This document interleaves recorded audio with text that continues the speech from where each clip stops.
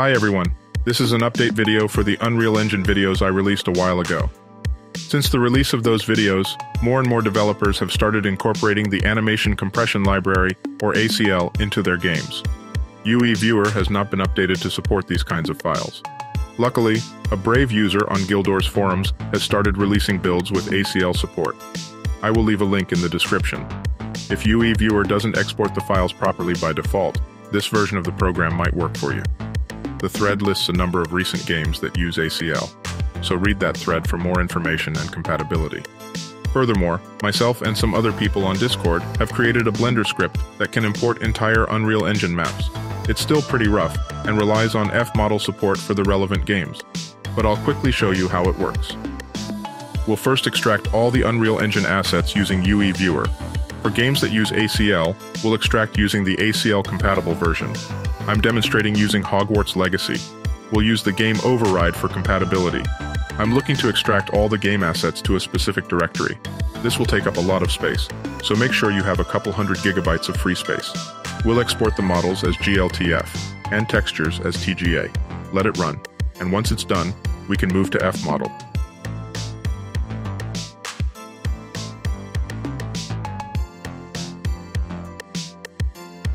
FModel is another unpacking tool like UE Viewer, initially designed for data mining from Fortnite. However, it has more specific features that enable us to extract additional kinds of data. However, we're only interested in maps. Point it at your game directory, load all the relevant pack files and start browsing through the folders for information about maps. You can narrow your search by searching for .umap files. I'm looking for the interior of the Three Broomsticks pub, this one is made up of multiple UMAP files in the same directory.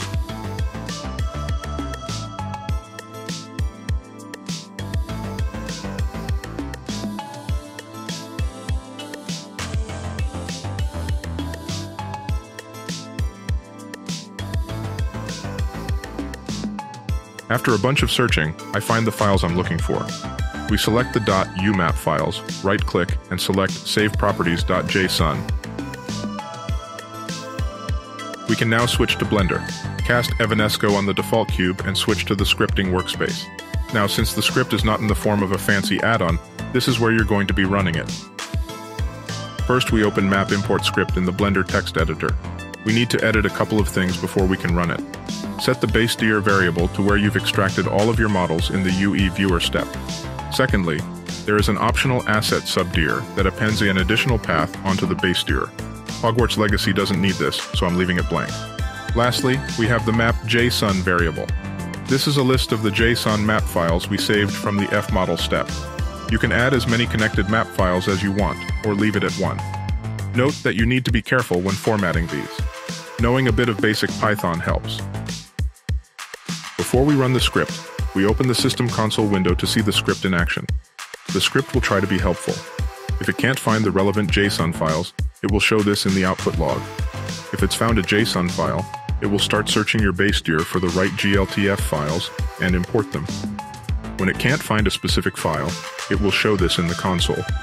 If the script fails, you can use the console information to figure out which variables you need to adjust. In our case, the script has done well. We can see it has imported the right meshes in the viewport. However, because we can't import the associated materials from Unreal, we're now going to run another script to automatically set up the materials.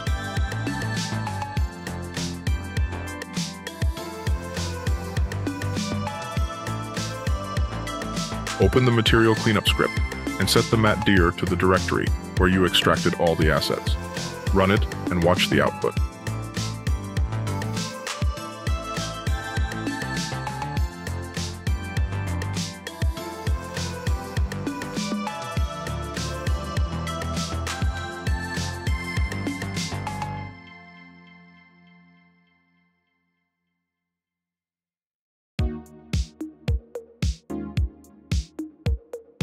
This looks like a great starting point.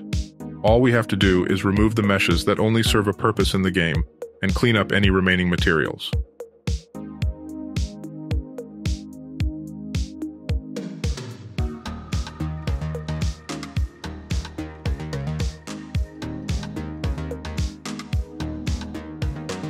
For example, this script is pretty dumb. It scans the entire asset directory for textures that match the name of the material, but it returns only the first one it finds. In this game, there are multiple textures with the same name, and when you encounter these instances in your imported map, you need to fix them manually.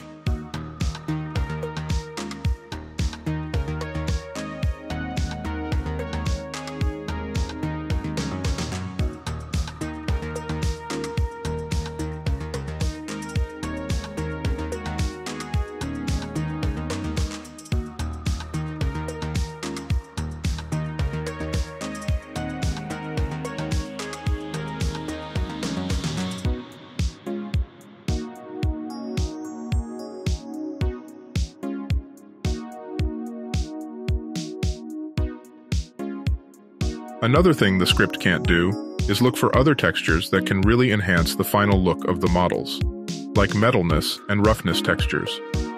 There are no consistent naming conventions in Unreal Engine assets for this, so you'll just have to make best guesses when finalizing your import. That said, it's worth setting them up. The end result looks great.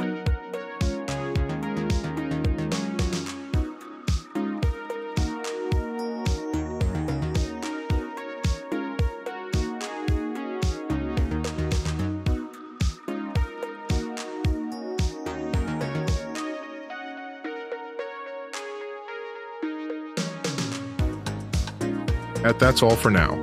I'll leave links to the relevant tools and scripts in the description. Although I can't help you with specific games or errors, I hope you'll upload any maps you port to Open3D Lab or support the site through Patreon. Thanks, and have fun.